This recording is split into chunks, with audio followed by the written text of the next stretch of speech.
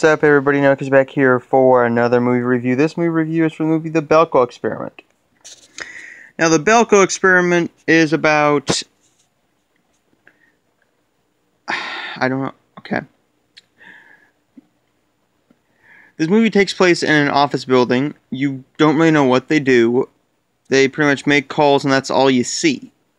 Um, and then someone comes over the intercom and says we need you to kill this amount of people. The first time it's two in the next 30 minutes. And then they have to kill 30. They have to kill 30 within the next two hours. And if they don't, then they are going to uh, kill 60 of them. There's 80 people in the building. So it's them just killing themselves, try or killing people, just trying to get,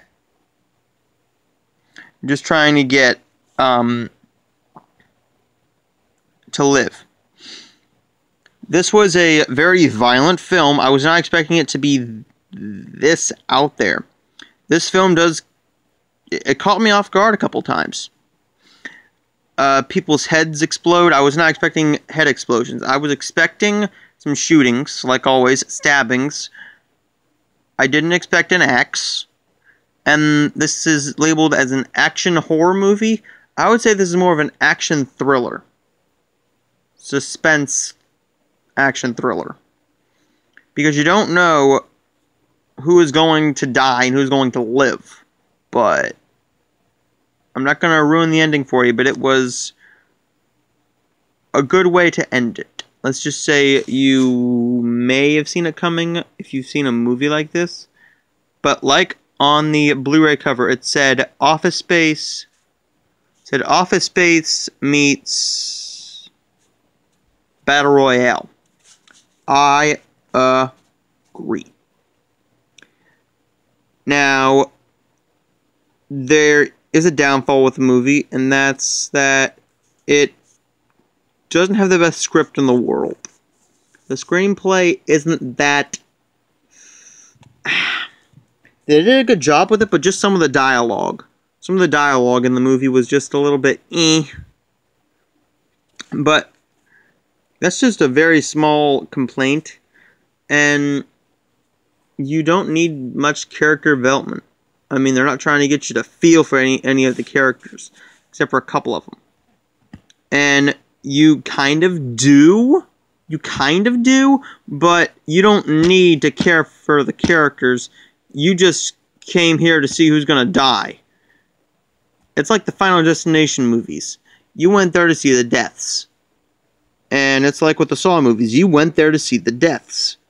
As you will go and see Jigsaw, which is the new uh, Saw movie. Which I thought was called Saw Legacy, but apparently not. But I'm going to give the Belko Experiment a B. It is a good film that I think I might watch again someday. I might pick up the Blu-ray or the DVD if I find it for a cheap price. $5 or under. Actually, once it goes to $7.99 at Family Video, I'll pick it up. But that's not my last movie review for you guys tonight. I think I might have one more.